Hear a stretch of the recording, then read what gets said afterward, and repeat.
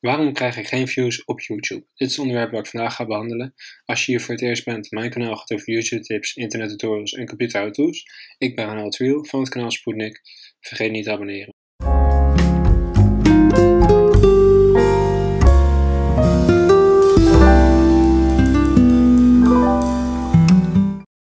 En met dit gezegd hebben, laten we meteen beginnen. In mijn optiek zijn er eigenlijk drie redenen waarom je geen views krijgt op YouTube. En er zijn uh, zaken die je kunt volgen om meer views te krijgen.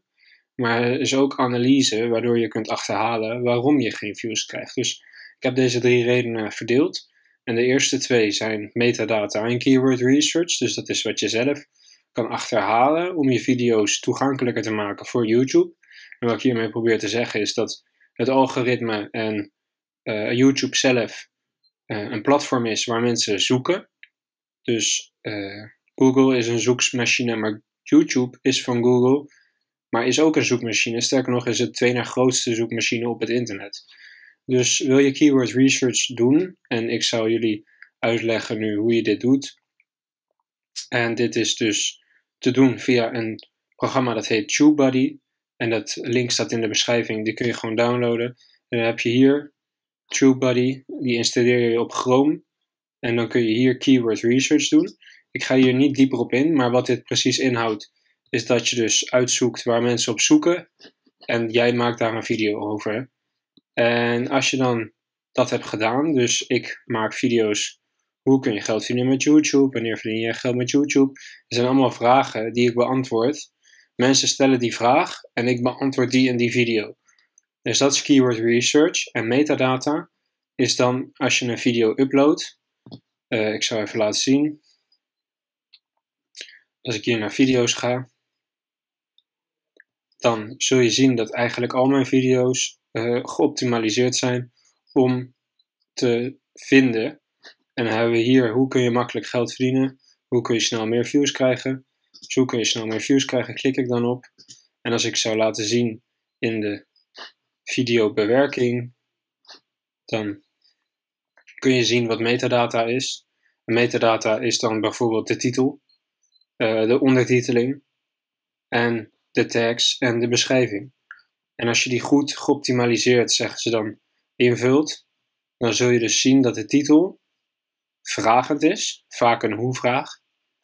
En die vraag wordt dan beantwoord in de video zelf. De eerste drie regels van je beschrijving zullen ook keywords bevatten. En dit is ook metadata. Dus keywords zoals veel views krijgen op YouTube, maar ook mijn tags. En de tags laten echt zien waar de video over gaat. En zoals je kunt zien, TubeBuddy laat ook zien hoe goed die rankt op die tag. Dus deze, hoe kan je snel meer views krijgen op YouTube, is die zesde in de zoekmachine. En hoe kun je snel meer views krijgen, is die vierde. Uh, ook hier, hoe kun je snel veel views krijgen, is die vierde. Dus de tags herhalen ook weer wat ik aangeef als titel en wat er in de beschrijving staat. Nou, dit zijn de eerste twee redenen waarom je, ja, waarom je weinig tot geen views krijgt, omdat je dit nog niet hanteert.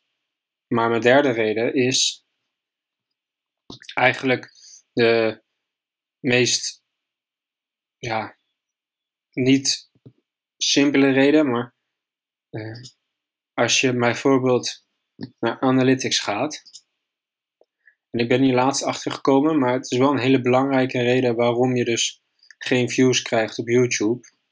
En je gaat bij uh, uh, betrokkenheid, neem ik aan. Dan, nee, bereik bedoel ik zul je zien dat hier staat klikfrequentie voor vertoningen. En wat ze hiermee willen zeggen is dat ik uh, eh, 46.000 keer gezien ben, waarvan maar 44, 4400 views uh, gegenereerd. Dat is in zekere zin goed, want tussen de 5 en 10 aan klikfrequentie is een goede. En tussen de 3 en 5, dan zit je op middelmatig. En tussen de 3 en 0 zit je op matig. Uh, dus als je hier iets aan wilt doen, dan kun je, uh, sorry, dan kun je hier op geavanceerde modus klikken. En als je bij geavanceerde modus komt, zul je zien dat elke video op zichzelf laat zien wat de klikfrequentie is. En ik heb nu op de afgelopen 28 dagen, en ik doe hem nu op de afgelopen 365 dagen, want in 365 dagen is de kijktijd het belangrijkst. En de kijktijd is die 4000 uur aan kijktijd. En dan zul je dit uh, te zien krijgen. Maar wat me opviel, is dat er best wel veel video's tussen zitten. En dan heb ik het hier over de hoe lang kun je online films kijken. Die worden zo'n 32.000 keer weergegeven, dus vertoningen. Uh, sorry, vertoond aan mensen. Maar zo'n 3000 weergaven in de 365 dagen. Dus, dus elke dag ongeveer één keer bekeken. Wel heeft het met 13 abonnees opgeleverd. Uh, maar de klikfrequentie is 2,5 of 2,3. Dat is best wel weinig dus. Dus wil je meer views krijgen, wil je weten waarom je geen views krijgt, dan kan een reden zijn dat je klikfrequentie gewoon laag is. Dus je mensen klikken niet op je video. Ze zien hem wel, hij wordt wel gepakt door YouTube. Dus je hebt geen metadata gedaan, je hebt je keyword research gedaan, maar mensen klikken er niet op. Waarom? Omdat je thumbnail niet pakkend is. En wat kun je nou doen om die thumbnail pakkend te maken? Dus ik heb meerdere uh, analyses eigenlijk uitgevoerd. En het belangrijkste is dat je opvallende kleuren gebruikt. YouTube is zwart of wit. Dus je kunt de dark mode activeren.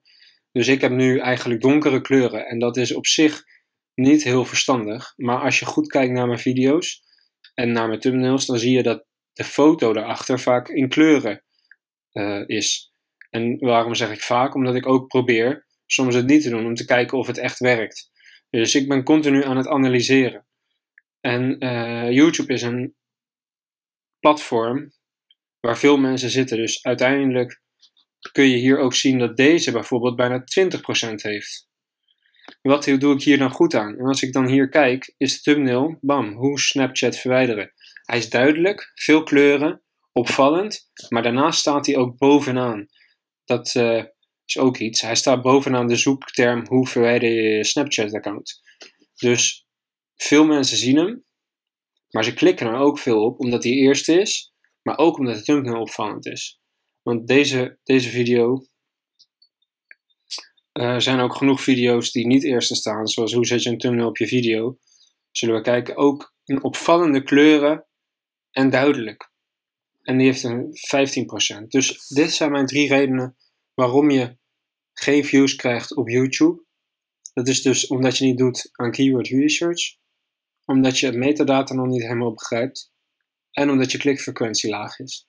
En met deze drie redenen hoop ik jullie te helpen om meer views te krijgen op YouTube en met dit gezegd hebben, hoop ik jullie genoeg geïnformeerd te hebben. Check ook mijn andere video's en ik zie jullie terug op mijn andere video's.